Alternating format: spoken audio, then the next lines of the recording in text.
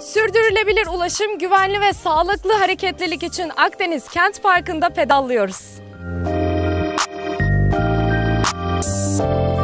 16-22 Eylül e, tarihleri arasında kutlanan Avrupa Hareketlilik Haftası kapsamında e, birçok faaliyete imza attı. Alternatif ulaşım aracı olan bisikletin daha öne çıkması için, daha etkin kullanılması için her yaşta insanımıza bisiklet eğitimi veriyoruz.